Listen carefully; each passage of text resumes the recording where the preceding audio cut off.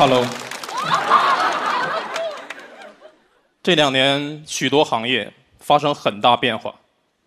我爸妈开饭店的，去年也关门了。你们应该知道为什么？对，我太赚钱了。然后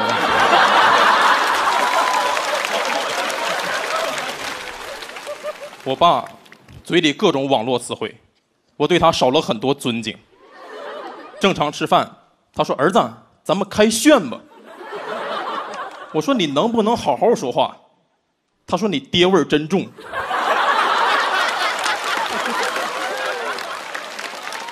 我说：“你是我爹。”他说：“双 Q。”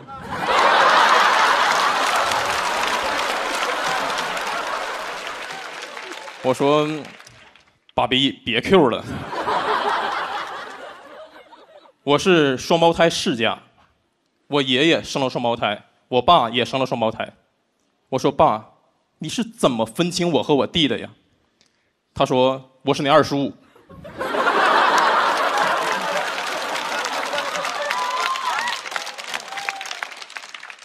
我说：“那我爸在哪儿？”他说：“你爸带杨波出去玩了。”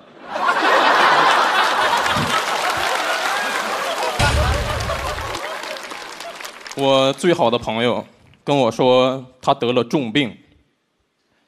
我说你减减肥呀，真是。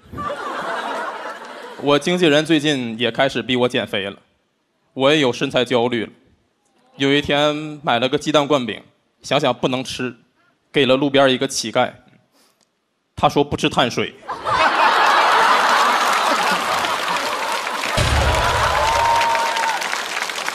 我说。但你是个乞丐呀，他说对呀，胖了就不可怜了。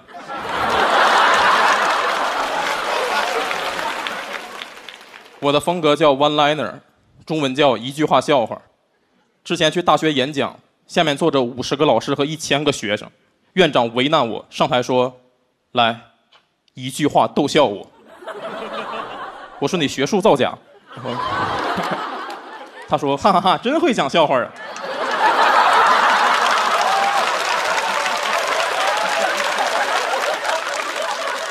我们继续。我中学英语成绩不好，六十分的选择题只能得十八分，老师很生气，说：“你信不信？我把答题卡扔地下踩两脚，都比你分高。”我很不服气，凭什么他的脚比我的脚厉害？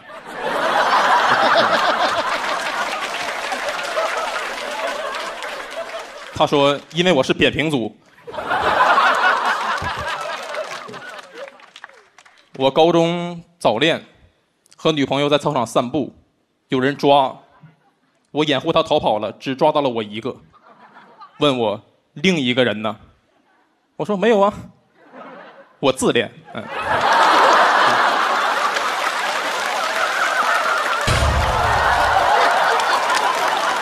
神经病啊！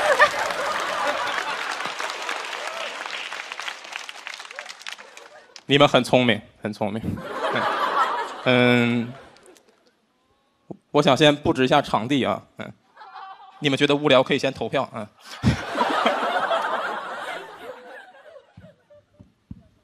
嗯，我想认真说一件事情。我爸上个月住院了，他抽了三十多年烟，我妈也劝了他三十多年，但他不听。所以怎么说呢？也不能怪我妈下手太狠。我妈问他烟有什么好的，我爸说 Y Y D S 啊。我妈问我什么意思，我说愿意动手啊。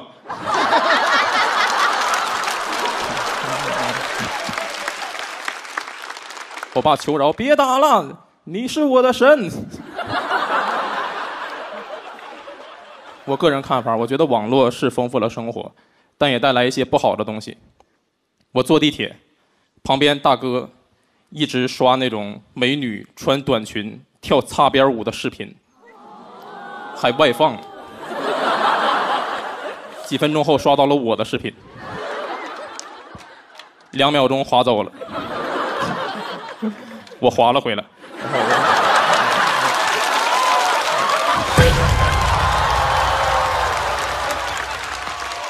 谢谢。嗯，我说大哥别着急，他一会儿也跳。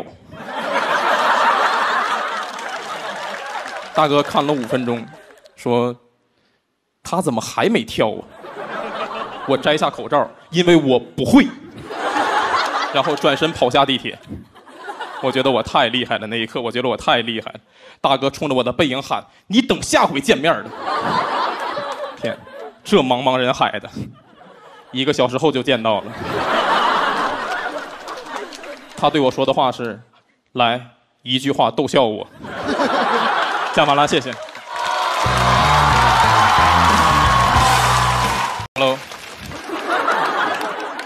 哎，他们太卷了，每天写稿到凌晨七点，我晚上十一点睡觉，七点起床，把他们房间的请勿打扰换成立即打扫。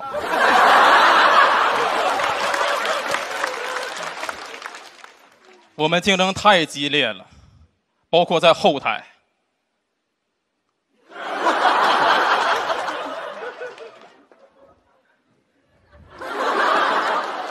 哎，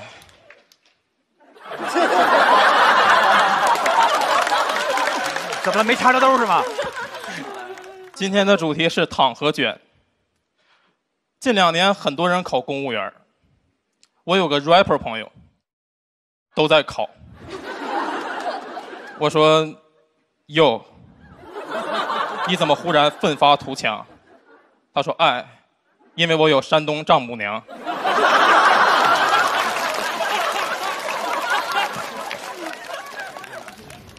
他考上了，工作是给领导写稿。现在他们开会已经有 flow 了，领导座位上写着 “A.K.A 王科长”，旁边座位没人，嗯，写着“别来站边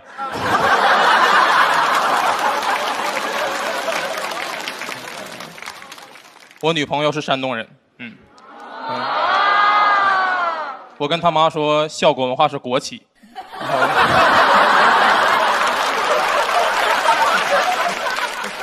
前两天有人找我直播带货，我说我不是网红，干不了。他说了出场费，我说我来吧，网红干不了。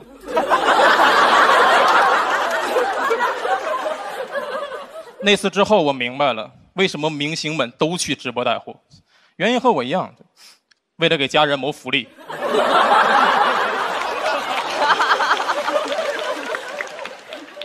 我中学条件很差，学校教游泳，没泳池，趴地下旱泳，看起来像练蛤蟆功。但我学习很努力，考上了大学，这在我们村很少见。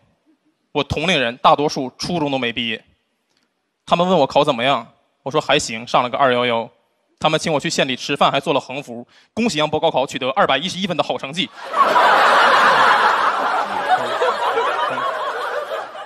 我不算厉害，嗯，隔壁桌考了九百八十五，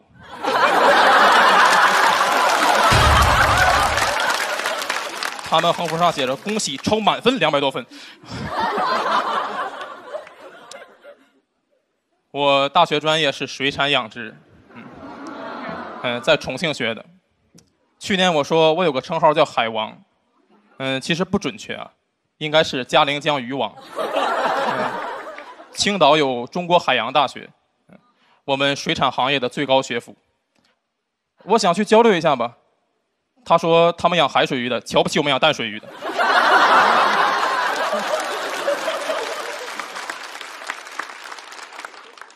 我说你别太过分，我是嘉陵江鱼王。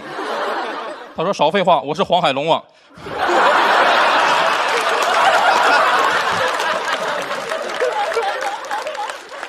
我养鱼的时候接触到脱口秀，开始疯狂写笑话。鱼塘没观众，我给鱼讲。鱼一直不理我，直到有一天我讲着讲着，发现上来听的鱼越来越多，我非常开心。然后发现忘开增氧机了。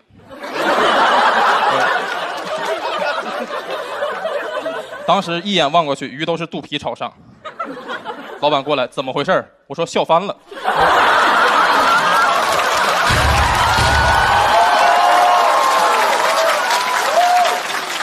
老板人好，没跟我计较。他说算了，你下去把死鱼捞上来。游泳会吧？我说分情况，在水里就不会了。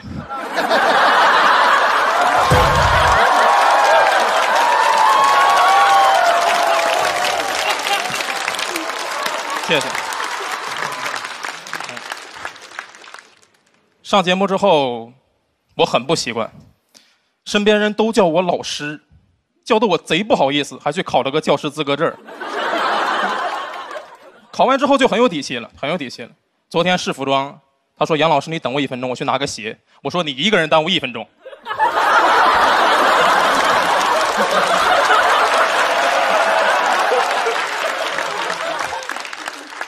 嗯，其实我时间到了，但老师想耽误大家一分钟。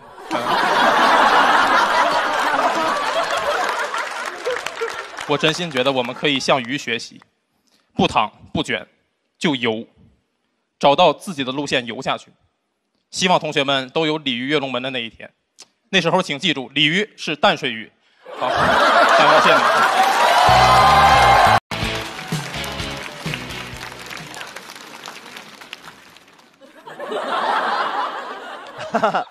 插兜啊！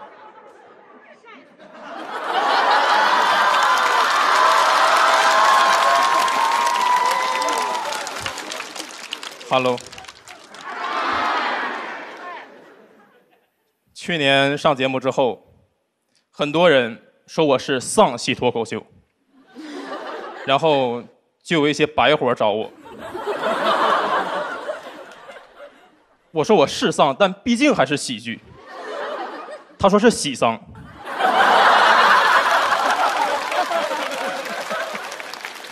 前段时间居家，大家因为无聊，行为越来越奇怪。我对面楼的大爷，连续三天站在阳台盯着我看。第四天我实在受不了了，换回了男装。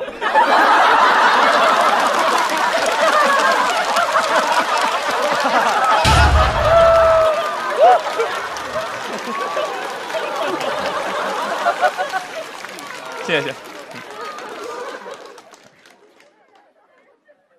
那两个月，我一直在回忆过去。我上学的时候，同学们为了不写作业，会想各种办法。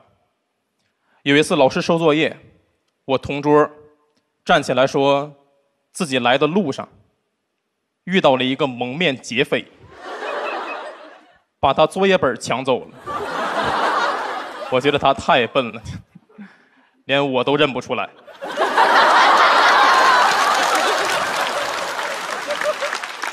有一段时间，我的邻居是一个精神病，他住的离我很近，就在旁边的床位。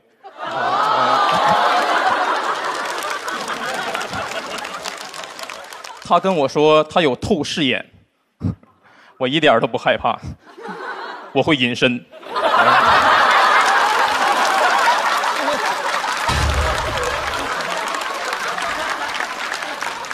我一直在租房，租房装修一定要提前和房东商量好。我之前私自把房子的门拆了，房东很生气，因为他还没答应租给我。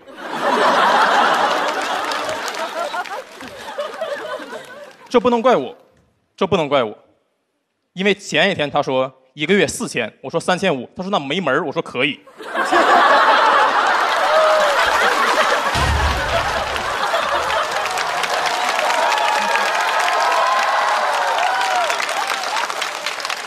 我喜欢你们，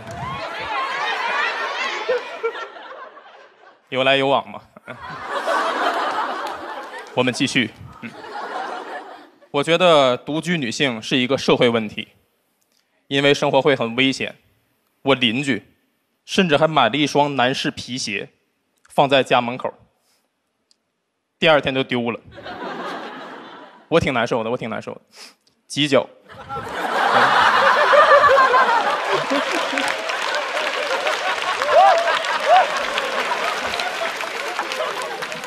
我们继续啊！我在街边看到一个人卖唱，我看了很久，都没给钱。他唱完看着我，你能帮帮我吗？我帮他唱了一首。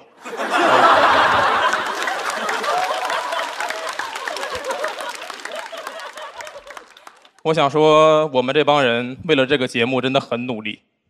一些南方演员每天练绕口令。刘奶奶找刘奶奶买牛奶。我说你这样不对，应该是刘奶奶找牛奶奶买经典超绿牛奶。六克原生高蛋白，一瓶牛奶两倍营养。牛奶奶说：“这么好的牛奶，我才不卖给刘奶奶。”可以可以。我很怕和老板交流，公司团建，同事逼我去给老板敬酒，告诉我酒一定要比老板的低。我上去，老板，祝你长命百岁。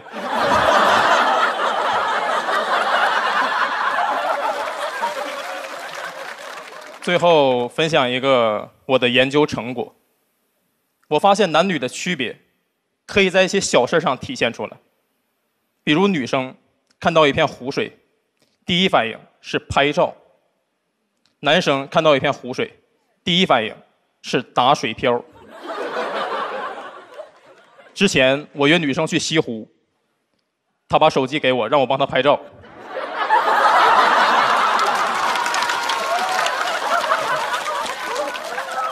我技术非常好，十连环到了对岸，被人捡走了。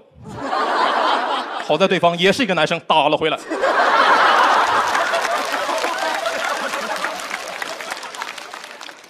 但他技术没我好，三下就沉底儿了。对，当时女生狠狠地瞪着我，我心想：天哪，还好我会隐身。我会什么？会隐身。讲完了，谢谢。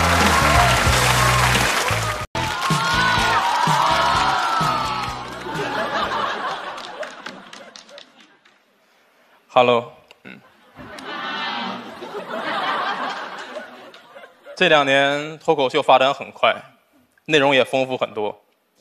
一八年的时候，所有演员都讲自己穷，这有一点不好的影响，会让观众同情我们。我坐地铁碰到观众，他说：“杨波，我给你刷卡吗？”我说：“不用，我就住这儿。”然后躺在了地下。最近呢，有了一点点知名度，嗯，生活少了很多快乐。我去逛鬼屋，被鬼认出来了。他说：“你是杨波吗？”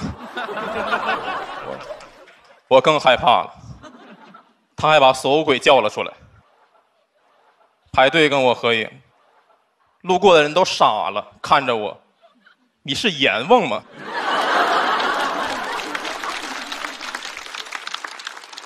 我名字非常大众，去搜索引擎输入杨波，第一个词条是杨波修脚，大企业，全国上千家店，别人名字有书卷气，我名字有脚气。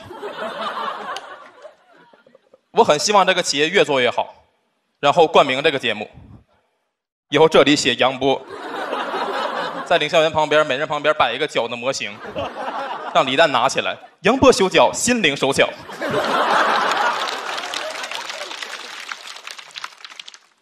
哎，你们也能听出来，我最近快被节目压力逼疯了，写了很多非常奇怪的笑话，给你们讲一个。我有人格分裂，但一直没人发现。因为我另一个人格不会说话，嗯嗯，不好笑吗？我就说不行吧。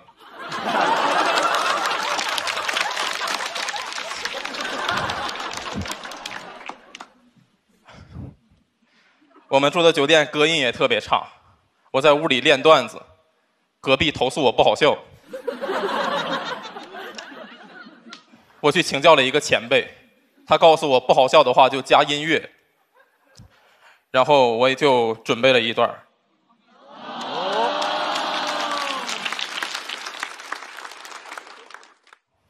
音乐呢，首先你得有一个乐器啊，都认识吧？对，是萨克斯啊。他的演奏方式呢是这样的，嗯，一二三四，好，先讲一下乐理啊。这个呢叫笛子，这个节奏叫打笛，嗯，这是笛打笛打笛，是一个四三拍啊。这这个不是我弄坏啊，因为它本来就是两节拼在一起的，每个人都可以拔出笛子，everybody。然后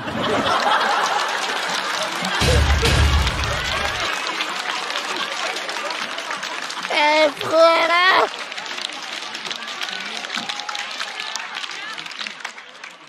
这个太可笑了，天哪！哎呦，不闹了。其实我是准备了一段配乐朗诵啊。音乐是我自己做的，没有版权啊。这个作品叫《我的二零二一》，嗯，又名《我的去年》。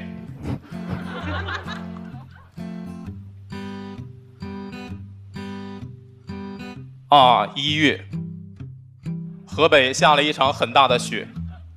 我醒来发现谁堆了个很丑的雪人儿，挡在了门口。我一脚踢过去，是我爸岔气儿了。三月，我去学开车，教练一直骂我，用各种脏话。我不服气，跟他顶嘴。他说：“杨波，你记住了，你以后是要当一个司机的，这些脏话都能用到。”当然，不是所有开车的都骂街啊，比如开过山车的。啊，六月，我去重庆演出，第一个段子调侃重庆人口音了呢不分，现场全是重庆人，场面一片死寂，他们听不出区别。啊，八月，我没写出来，嗯、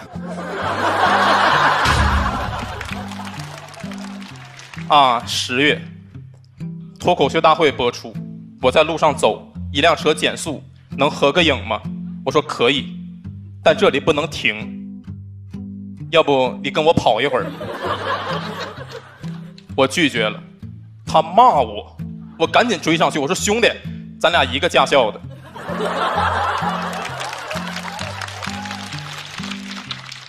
啊，十二月，我报了个防骗课程，当天我去了，老师没来。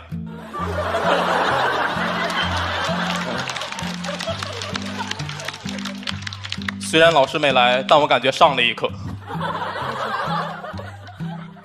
好，胡闹就到此为止了。嗯，接下来我想我说一下我二零二一最内疚的事情吧。邻里和谐真的很重要。我楼下三零一的小伙每天抱怨三零二大爷把垃圾放他家门口，天天吵。我找到三零一，我说兄弟，你才二十岁，那大爷都六十了，他打不过你的。两个人真打了起来，大爷被送进了医院，我很内疚，再也不把垃圾放三楼了。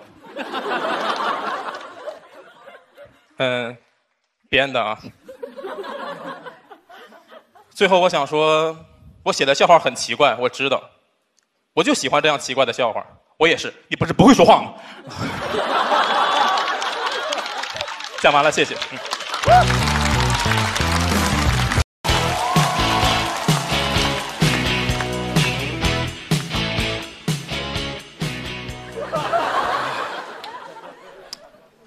最近脱口秀太火了，我老家一个开足疗店的朋友都来找我合作，让我在他给客人捏脚的时候站前面讲脱口秀。我说可以，但需要你配合。他说怎么配合？我讲到梗的时候，你抠他脚心。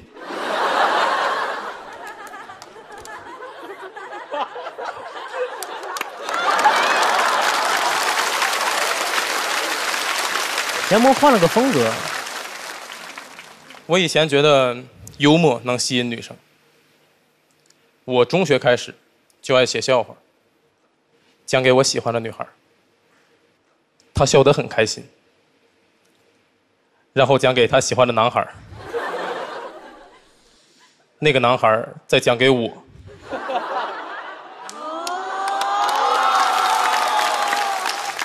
一个笑话，幽默了一圈儿，就我不开心。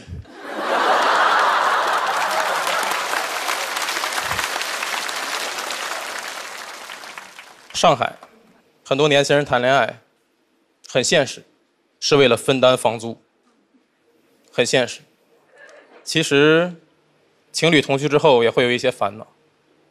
有一天我睡得正香，我女朋友把我叫醒了，她说：“杨波，我睡不着，咱俩聊聊天吧。”我很生气，我说：“聊啊，你交过几个男朋友啊？”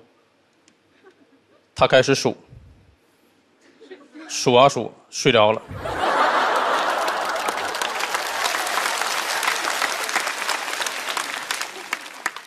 我睡不着了。你们也能听出来，我的感情生活并不是很顺利。但我觉得没关系，因为一个男人最重要的是事业。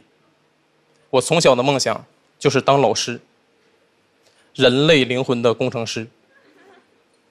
但在我真正当老师之后，我发现并不快乐，并不快乐。我之前教高中物理，还是高三，压力特别大，题我都不会。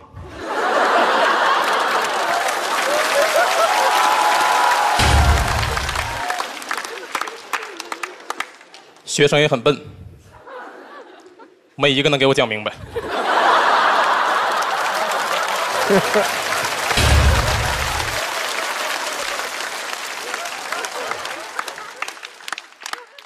后来我去了一家广告公司工作，经常要和老外接触，但我英文很差，每次出去都是老板给我翻译。后来老板把我开了，可能他觉得工作压力太大了。每次谈完生意，客户老外都是过来加我微信，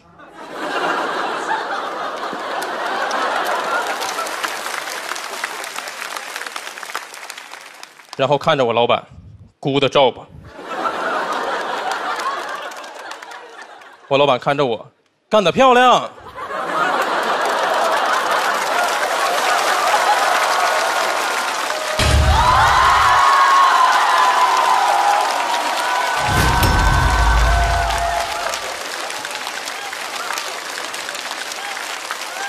杨波赢了呀！我说这句不用你翻译。其实，现代人工作压力很大，成年人的崩溃往往只在一瞬间。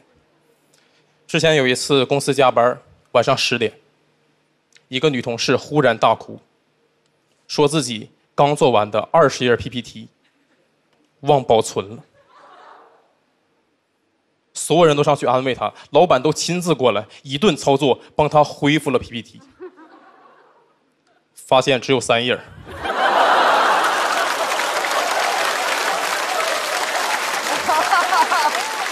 好啊！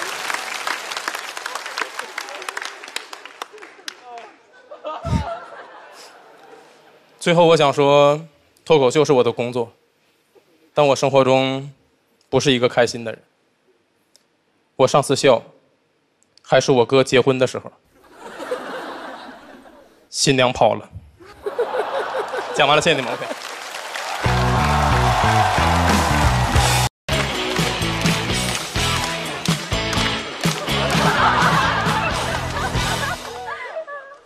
Hello。我太难受了，我太难受了。我的对手是杨蒙恩。和建国博洋。要在我们三组里淘汰一个，我太难受了。淘汰他俩谁我都舍不得。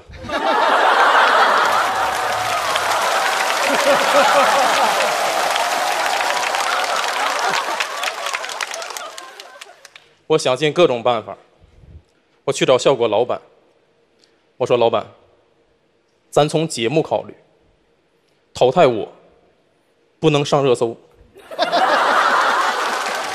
有道理。淘汰王建国可以上热搜，是，因为没人认识我。老板说对，你是谁呀、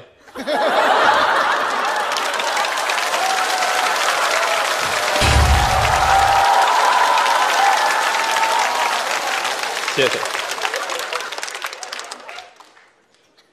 今天的主题是上班。外地人在上海找工作很难。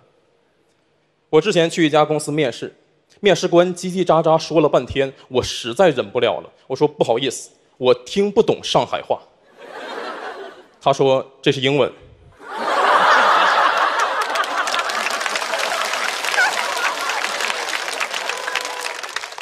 我说但这里是中国。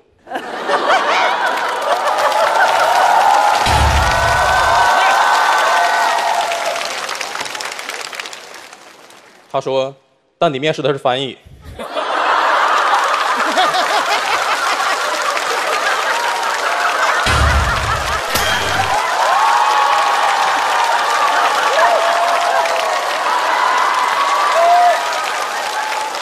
哇，那么快四产生了，二哥咱那时候好像没有这么强。我大学专业叫水产养殖。我的校友全来了。当年在我们那里，“海王”这个词儿，形容的还不是渣男，是我们专业年级第一。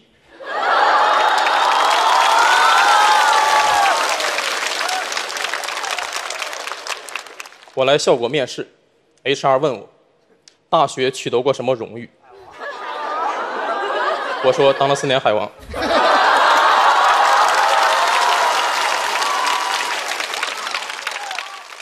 他说你真不要脸，符合我们公司文化。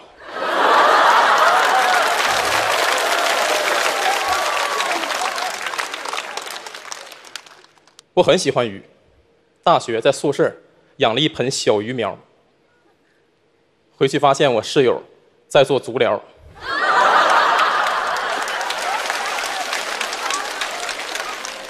为了从事这个行业，我还去学校鱼塘偷着练游泳。换气很难，要在水上吸一口气，水下吐出来，水上再吸一口气。我不会，在水上吐了一口气，下去喝了一口水，上来吐了一口水。我怀疑这个场面被人看见了，因为过了几天有人传，鱼塘里有鲸鱼。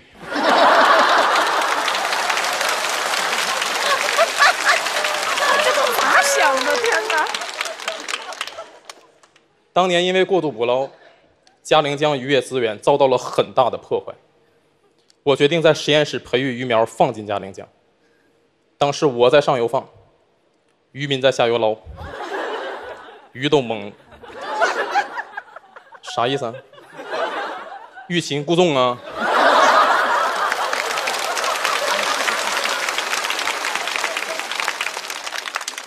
整套流程速度非常之快。鱼都还记得。这鱼是七秒钟，七秒钟的记忆。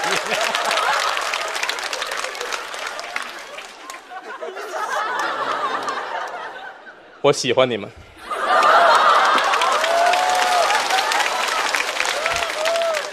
很聪明，很聪明。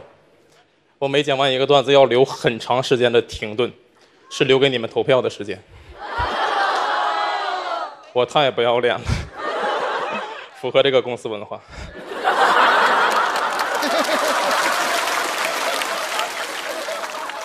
我们继续。我前老板特别爱讲大道理。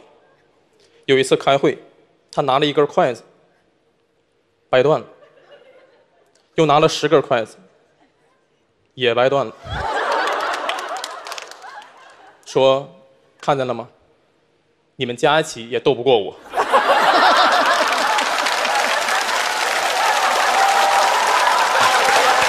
太强了。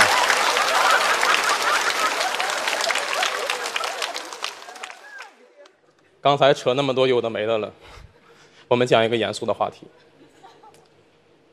其实职场大家工作压力都很大，成年人的崩溃就在一瞬间。有一天晚上下暴雨，我在街边看到一个男生忽然蹲下大哭，哭得很惨。更悲哀的是，路过的人不仅没安慰他，还围上去拍短视频。我很心酸。我走过去，我说：“兄弟，你怎么了？”他说：“哥，我们在拍短视频。”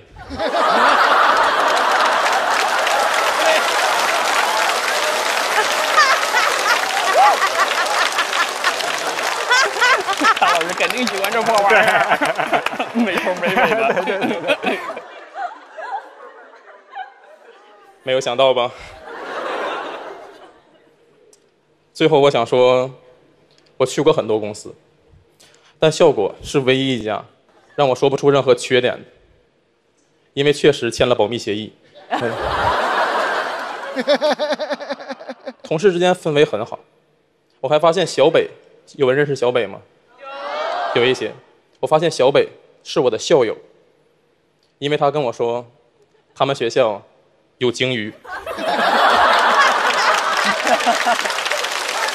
讲完了，谢谢。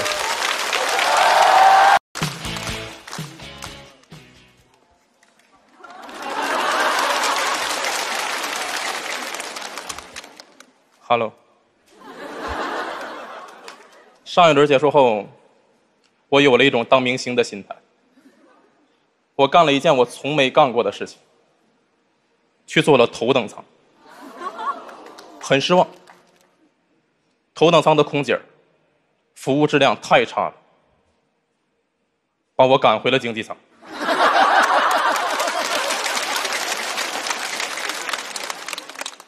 现在小孩太嚣张了，我有一个五岁的侄子，他淘气，我打了他一下，他居然都对我喊：“你知道我爸爸是谁吗？”我说：“你知道我哥哥是谁吗？”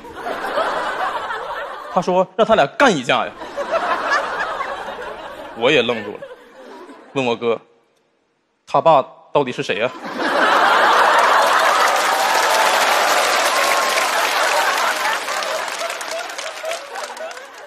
我哥说：“你疯了，不是说好不提这事儿吗？”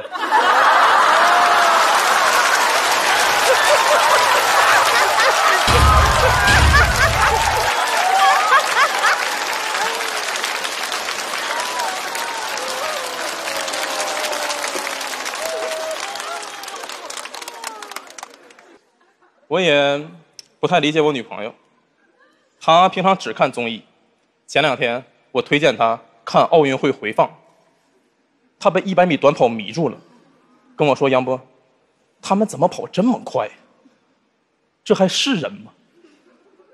我说：“你把二倍速关了。”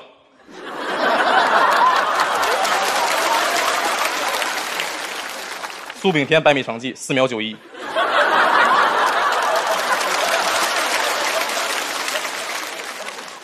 我说：“你能不能少看点垃圾综艺？”他说：“那你还去参加？”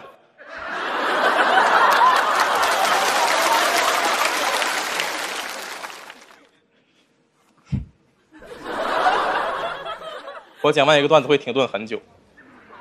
有人微博问我：“你是不是忘词儿在想呢？”我说：“不是，这是留给观众投票的时间。”我太不要脸了。我们继续。我很讨厌上班早起。有一天我起晚了，怕迟到，打了个专车。上车发现司机是我老板。他看着我，你好像要迟到了呀。我说那就看你表现了。还是迟到了。他扣了我工资。我给了他差评。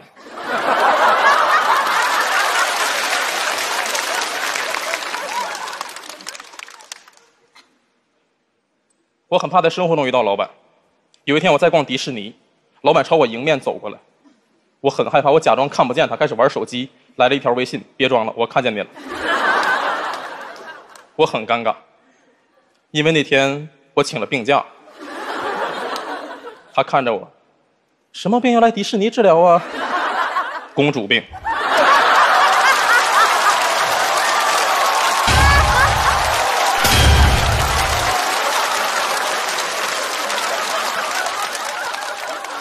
好了，我要讲一些正经事儿了，我要开始走心了啊！大家准备好。我来上海很久了，我有一年春节没回家，跟房东阿姨两个人过年。别误会，她已经七十多岁了。她看着我，小伙子，我孩子今年也不回来，但看到你吃饭，我好开心。我说阿姨，你也吃两口吧。就知道你儿子为什么不回来了。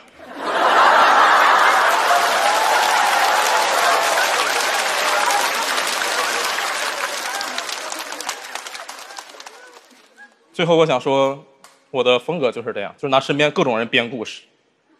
但我最近有点后悔了，因为第一轮，我拿我哥的婚姻开玩笑，结果上个礼拜，他俩真离婚了，还让我开车送他俩去民政局。一路上我真的很难受，因为要憋笑。我哥更难受，他没憋住。讲完了，谢谢你们。Hello，我来上海很久了。刚来的时候跟人合租，要共用卫生间，很不方便。尤其我的室友是女生。我俩经常爆发争吵。我说：“你洗澡能不能快一点？”他说：“你能不能先出去？”别误会啊，她是我女朋友。我俩是姐弟恋，姐弟恋，相亲认识的。她是媒婆。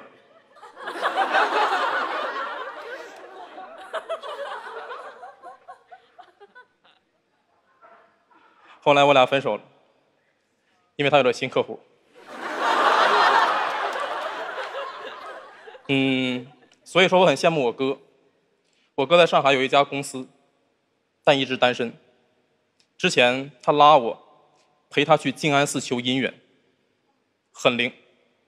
一个月，他的愿望就实现了，找到了对象。但公司倒闭了。我的愿望也实现了。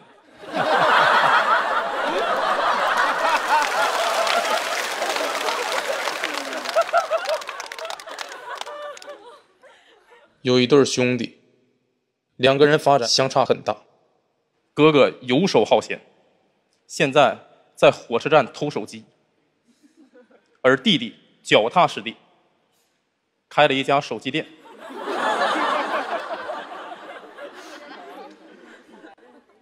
我妈特别爱砍价，小时候她带我出去，对方说三千，我妈说两百，不行就下一家。我说妈，要不就三千吧，咱已经走四家医院了，我快不行了。我妈说别着急，他会出来叫咱们的。女生的问题很多陷阱。有一天，我女朋友问我：“你猜我在医院碰见谁了？”我脱口而出：“你为什么去医院？”她愣住了，说：“因为我是医生。”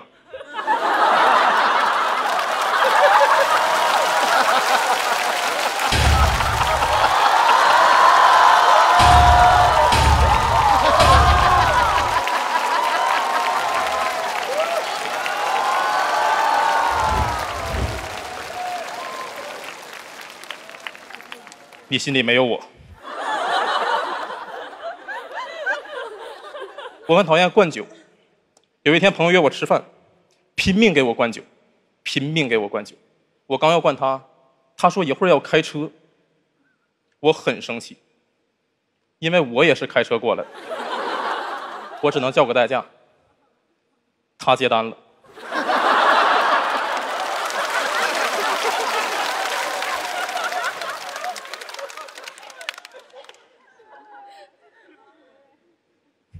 我觉得上班是一件很痛苦的事情。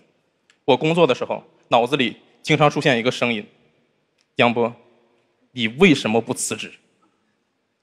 转头发现老板在我旁边，他说的。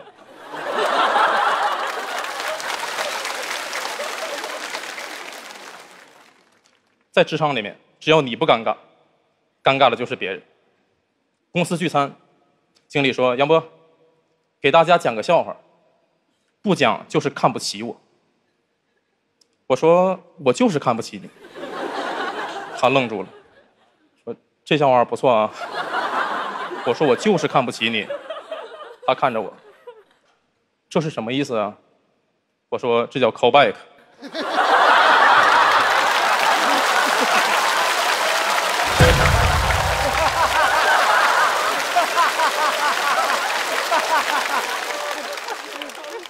谢谢吴伟老师。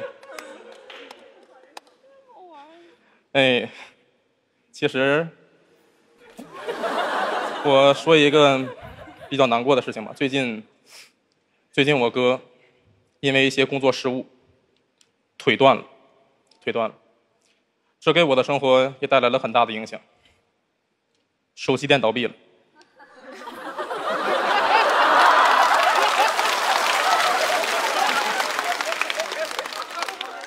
我喜欢你们，很聪明。我的风格就是拿身边各种人编故事，我就是这样。我全家已经没一个好人了，但他们不在乎。我舅舅还来找我，杨波，你能不能把我也编你段子里边？我说好。你喜欢偷看人洗澡？他说不行。你能不能编个假的？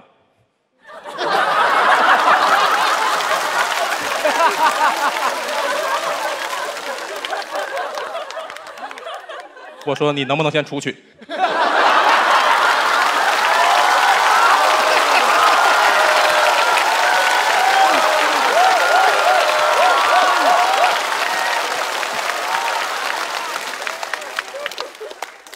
最后我想说，我真的很爱写笑话。我曾经开了个网店，卖我写的段子。方式是付完款后，我打电话讲给他，他笑得很开心。选择了七天无理由退货。讲完了，谢谢你们。OK。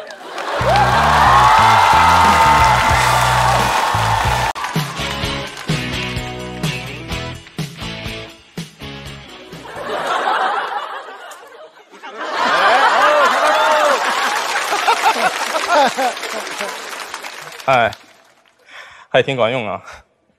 Hello，我最近压力太大了。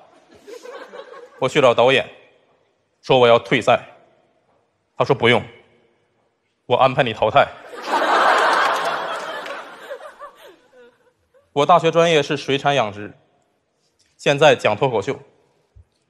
我一直没告诉我家里这个事情，直到前几天，我妹妹偷着带我爸妈来看我演出，他们才知道我学的水产养殖。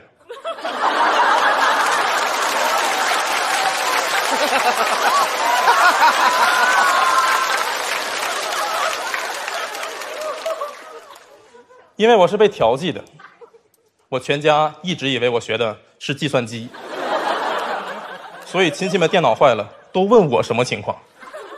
我说，可能是缺氧吧。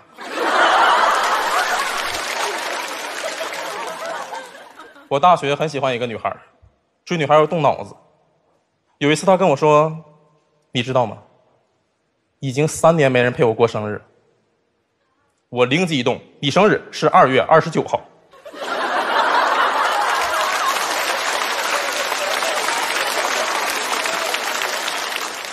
我为了追她去学弹吉他，表白当天发现自己不会唱歌，于是让我室友帮我唱，他唱的很好。女孩都答应了他，甚至不知道是我在表白，还对我室友说：“下次清唱吧。”去年，我妈给我安排一场相亲，我对女生说我是脱口秀演员，她说那你能送我几张票吗？我说好，你也喜欢脱口秀吗？她说不，我是黄牛。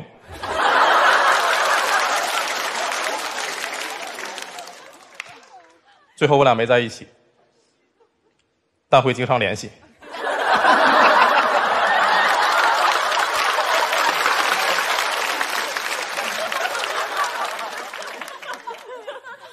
上个月回老家，我奶奶告诉我一个噩耗，说我们镇上出现了一所凶宅，人进去就出不来了。我壮着胆子去了，密室逃脱，我也没出来。我爷爷知道后还去救我，门票太贵，回家了。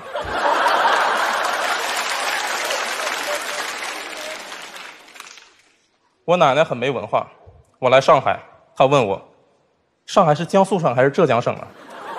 我说都不是，上海跟北京一样。她说啊，是咱河北省啊。我给他们家装了空调，但他俩不会用，夏天开着制热，还不会关。于是他俩拿了个风扇进来，对着空调吹。以为能降温，热得很均匀。最后他俩在院子里睡的，因为外机吹的是冷风。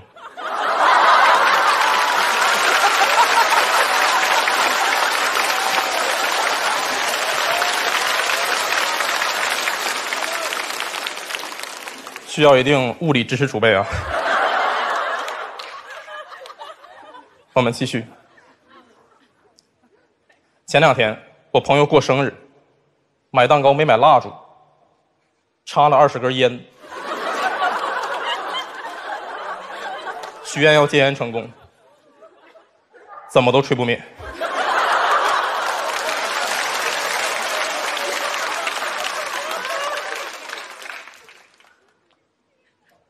我到一所城市会逛它最好的大学，之前我去北京，在清华和北大之间选择了北大。因为我从小就听说北大有很多保安自学考上了北大，而清华没有，所以我断定北大安保比较薄弱，还是被抓到了。他说：“你为什么闯进来？”我说：“你为什么没学习？”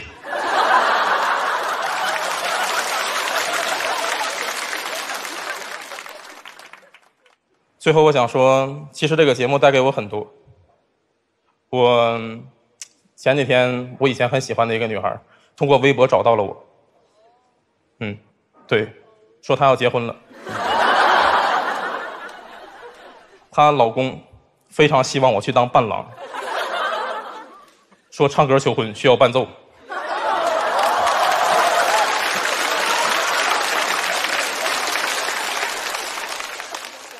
其实上个月我们大学同学聚会了，但是我没去，我没去，因为很失望。去年有个人上来就各种借钱，所以今年他们没叫我。